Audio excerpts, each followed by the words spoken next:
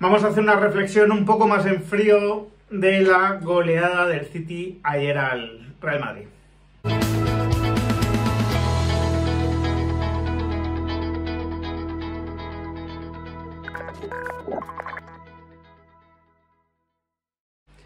Muy buenas a todos, ¿qué tal? Se viene un día, bueno, se vienen unos días de, reflexión, de hecho mi idea es grabar en un rato con Marcos López y que podáis tener también su visión sobre, sobre el partido. Y la verdad es que, bueno, acabo de aterrizar de, de Manchester, eh, cansado, ¿no? Pero creo que con cierta claridad sobre lo que falló ayer, ¿no? Lo que falló ayer en el Real Madrid y por dónde puede ir de alguna forma el, bueno, pues la solución a, a, futuro, ¿no? Aunque nunca es, nunca es fácil, ¿no? Plantear estos temas, nunca es fácil tenerlos claros. Yo soy el primero que os comentaba que mm, antes del partido que una vez que habíamos llegado a este punto con estos jugadores, ¿no? De esta manera, una vez que habíamos visto el partido de ida en el Bernabéu en el que el Madrid, en mi opinión, ¿no? Y creo que en opinión de la mayoría de la gente había sido incluso superior al City, bueno, pues que entendía de alguna forma que Ancelotti se pusiese en manos de las leyendas, ¿no? De Modric, de Kroos, de Carvajal, de Benzema. Algunos titulares de forma inevitable, porque en el caso de Carvajal realmente no hay nadie que pueda ocupar ese puesto con cierta solvencia. Otros, por lo que han dado en algún momento, ¿no? por, por esa grandeza, ¿no? por esa experiencia. Lo que pasa es que eh, siendo coherente esa alineación con lo que de alguna manera Ancelotti mm, bueno, pues, ha confiado ¿no? desde que ha vuelto al Real Madrid, pues hay que decir que el planteamiento me pareció del, todo equivocado. ¿no? Vimos ayer un equipo que salió a ganar el partido desde el principio, a presionar con energía, con pasión, ¿no? con disfrutando y, sufriendo en cada duelo, ¿no? por llevárselo, por imponerse. Vimos a un City que salió en esa disposición espoliado por un público, sí, pero, pero desde luego espoliado también por el mensaje que había enviado su entrenador. Y vimos otro equipo que salió a que no ocurriese nada. Vimos a, otro equipo que, eh, de alguna forma, el mensaje que había recibido de parte de sus entrenadores nos toca sufrir, nos toca sufrir al principio, tenemos que pasar ese chaparrón y ya llegará nuestro momento. Pero claro, es que tampoco quedaba claro cómo iba a llegar ese momento. Ni estaba claro cómo íbamos a conseguir ¿no? eh, aguantar, aunque fuese sufriendo, ni, ni tampoco estaba claro cómo el Madrid iba a explotar cuando llegase ese hipotético momento en el partido.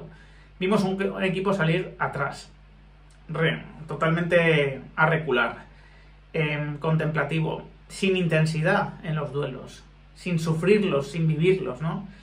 Eh, sin ningún plan para salir con el balón alguna vez controlado. Creo que fue una única jugada en la que el Madrid pasó del centro del campo, o es una exageración, pero muy pocas jugadas en las que el Madrid pasó del centro del campo en la primera parte.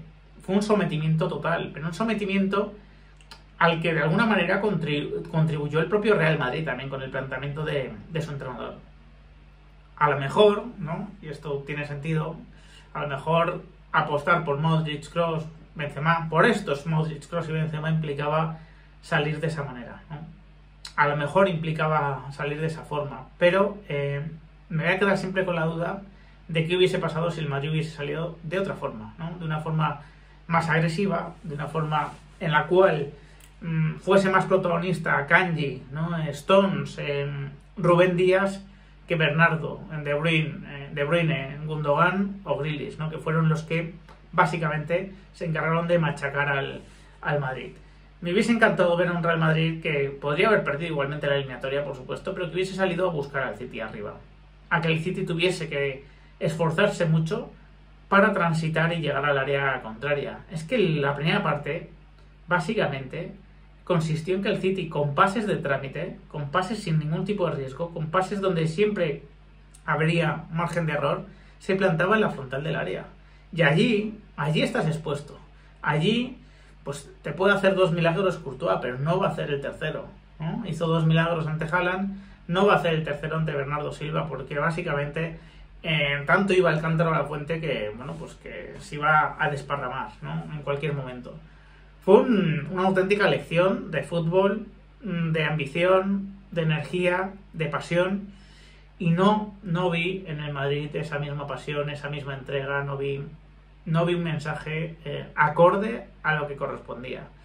Y a lo mejor eh, yo, que podía entender a Ancelotti apostando por, por los clásicos, a pesar de que durante la temporada pues ya he comentado muchas veces que, que me parecía que era un plan menos ganador para el Real Madrid el juntar a Modric y Kroos, por ejemplo, en el campo, a pesar, bueno, pues de la aparente, ¿no? contradicción de, bueno, pues de entender que en este último partido apostase por lo que le había llegado hasta la semifinal, a pesar de eso, visto cómo fue el planteamiento final, visto cómo, cuáles fueron, ¿no? las hipotecas que tuvo que pagar el Real Madrid, eh, bueno, pues creo que todos podemos coincidir en que fue un, gran error. El Madrid ayer jugó sin Benzema, que no estaba, que no está, que no ha estado durante la temporada algo le pasa a Benzema, es evidente, más allá de la edad, más allá de que a lo mejor lo dio todo el año pasado ya y no queda nada, algo físico le pasa, ¿no? Más allá de eso. Un derrumbe tan claro, un jugador que ya pues le cuesta hacer eh, mucho, cosas que antes hacía con suma facilidad,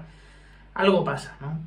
Algo pasa cuando Modric se siente completamente superado, ¿no? Em, de estos tres, entre Kroos, Modric y Benzema, sin ser ningún espectáculo, pues el que me parece que estuvo más presente fue fue Cross, pero cuánto te limita, ¿no? También el jugar con Cross, sobre todo si lo acompañas de Modric en el centro del campo, qué capacidad de robo pierdes, ¿no? Qué capacidad de ganar duelos, de anticiparse.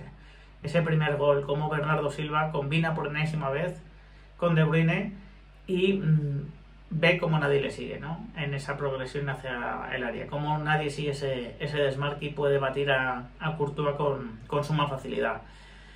La verdad es que no salió nada, ¿no? Valverde uno de los jóvenes tuvo un día completamente horrible. Mm, no sabemos eh, si víctima del sistema no. Rodrigo muy poco presente. Vinicius hasta perdió un duelo ¿no? con, con Kyle Walker en velocidad, algo pues bastante inexplicable. Nada, cuando todo falla, cuando cada individuo está peor de lo que se esperaba, es que lo que ha fallado es el sistema, lo que ha fallado es el equipo entero, lo que ha fallado es que ha hecho aguas todo y ha expuesto los peores defectos de todos los jugadores. ¿no? Eh, no hay que ser catastrofistas, también os lo digo. No hay que perder, como os decía ayer, ¿no? en caliente después del partido, no hay que perder ese sentido de, gratitud enorme ¿no? que, debemos sentir ¿no? los, los madridistas. Eh, han sido y pueden seguir siendo, por supuesto, años maravillosos. Eh, si el año pasado, a mí me dicen, ¿no? honestamente, antes del partido de ida contra el City, oye, te vas a enfrentar dos veces contra este City que aparentemente es el mejor equipo del mundo y en uno de ellos, en uno de los dos duelos te vas a imponer y vas a ganar la Champions, en el otro te van a, te van a pulear. Yo habría firmado en ese momento, ¿no? Retrotraeros también a ese, a ese momento y sed honestos, ¿no? Y responderos a esa, a esa pregunta. ¿Habríais aceptado, ¿no? El ganar una de las dos. Yo creo que la mayoría sí, ¿no? Yo creo que la mayoría sí. Y eso es no ser conformista, eso no es ser menos madridista, eso es ser también consciente de que, de que bueno, pues de que el Madrid ha estirado mucho una generación irrepetible que le ha dado, bueno, pues toda la gloria posible. Pero ahora toca apostar por, por algo nuevo, em, toca ir, bueno, pues modificando esos liderazgos, asumiendo que va a haber un peaje seguramente, bueno, pues en que en que los jóvenes no son tan expertos como los veteranos, en que los jóvenes van a cometer más errores conceptuales a veces, pero también que los jóvenes te van a dar un techo en este punto de su carrera más alto del que te dan, del que te dan los veteranos. Y para eso, pues ya lo reflexionaremos, pues habrá que ver si, si Ancelotti es el entrenador ideal, si es el entrenador adecuado, o si, eh, bueno, pues él no está preparado o no, o no quiere hacer esa transición eh, bueno, pues cuál podría ser el entrenador, ¿no? Pero no es un tema para tratar hoy, ni mucho menos. Además, bueno, pues por mucho que creo que se equivocase ayer, creo que hay que, bueno, pues hay que agradecerle muchas cosas a Ancelotti. Eh, para empezar, ¿no? Su forma de ser, su forma de representar el Madrid, ¿no? Su forma de comportarse, de, bueno, de representar, ¿no? De representar a un club que, bueno, en ese sentido está en las mejores manos. Pero, bueno, toca, por supuesto, también reflexionar sobre sobre el planteamiento de ayer y, bueno, pues elucubrar si, si realmente es el entrenador que tiene que tener Real Madrid para la etapa que viene, ¿no? Una etapa que para mí no deja de ser ilusionante, que va, seguro, ¿no? Que va a tener nuevos protagonistas y la que yo espero que el Madrid vuelva a lo más alto pues muy pronto. Así que sin más os dejo, espero vuestros comentarios. Si os ha gustado el vídeo dejad un like, compartidlo y suscribiros al canal los que no estáis. Un fuerte abrazo.